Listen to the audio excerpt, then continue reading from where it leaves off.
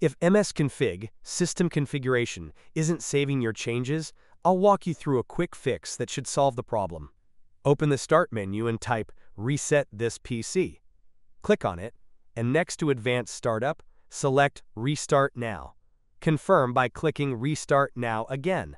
Once the recovery menu loads, click Troubleshoot. Then go to Advanced Options. Click on Startup Settings. If you don't see it right away, select See Recovery Options and it will appear there.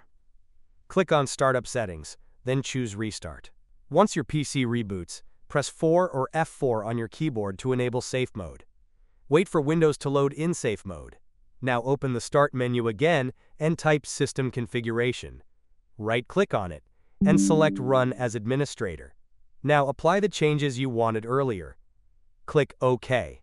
Finally, restart your PC normally. Now msconfig should save your changes without any issues.